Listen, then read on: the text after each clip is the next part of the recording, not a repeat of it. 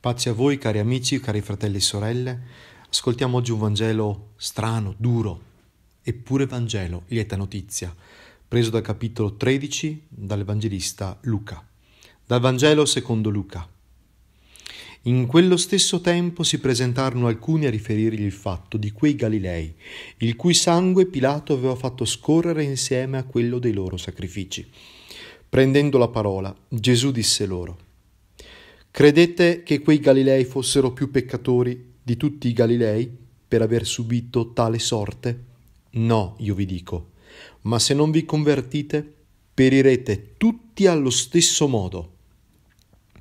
O quelle diciotto persone sulle quali crollò la torre di Silo e le uccise, credete che fossero più colpevoli di tutti gli abitanti di Gerusalemme? No, io vi dico, ma se non vi convertite, perirete tutti allo stesso modo. Diceva anche questa parabola. Un tale aveva piantato un albero di fichi nella sua vigna e venne a cercarvi frutti, ma non ne trovò. Allora disse al vignaiolo: Ecco, sono tre anni che vengo a cercare frutti su quell'albero, ma non ne trovo. Taglialo dunque, perché deve sfruttare il terreno?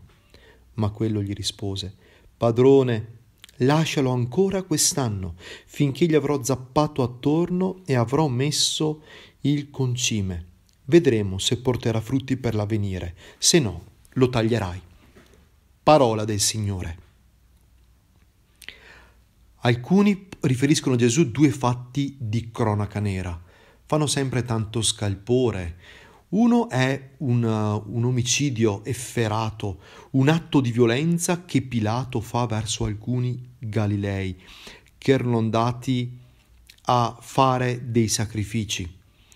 Israele è sempre stato un popolo caldo, con tantissime tensioni e Pilato deve far sentire il potere romano. E poi un, fatto, un altro fatto di cronaca è un incidente sul lavoro di questa torre che stavano costruendo. Questi tali riportano a Gesù queste questioni, forse aspettandosi una risposta filosofica perché è avvenuto questo? Vedi Gesù, questo è avvenuto perché queste persone erano più peccatrici di noi e il Signore le ha punite. Ed è stranissima la risposta che Gesù dà, che ci spiazza, ed è per noi bella notizia, perché Gesù ad un certo punto dice, se non vi convertite, perirete tutti allo stesso modo. Per due volte dice questo, cioè Gesù non rimane sul piano filosofico, astratto, teorico, ma ci riporta alla questione profonda, convertirsi o meno è questione di vita o di morte. Questo tempo che abbiamo è un'occasione per convertirsi. Quante persone che passano la vita ad interrogare la vita questo Vangelo ci dice smettere, smettila di interrogare la vita, ma lasciati interrogare dalla vita. E se i fatti, anche quelli tragici, anche quelli drammatici, fossero una chiamata di Dio per chiederci frutti, perché poi la parabola che Gesù racconta parla proprio di frutti che siamo chiamati a portare. Perché questo è il nostro Dio, non è uno che vuole il male. Dio non gode della rovina nostra, ma della nostra conversione, è il Dio della vita, vuole la nostra vita e che sia una vita piena. Come devo rispondere ai fatti drammatici della vita? Come devo rispondere a questo Covid che ci sta assillando, scombinando i piani, mettendo, mettendoci in, gra- in grande difficoltà, accusando Dio, accusando gli altri, accusando i cinesi? Oppure leggere con sapienza tutto questo e dire, Signore, a questo fatto rispondiamo con sapienza.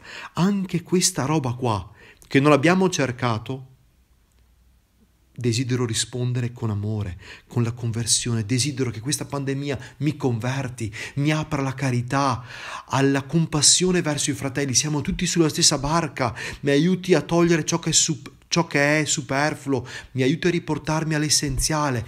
Anche questo tu, Signore, lo sai trasformare in un appello alla mia conversione personale. Allora benediciamo il Signore per questa parola dura, ma che in realtà ci aiuta nel nostro cammino di profonda conversione.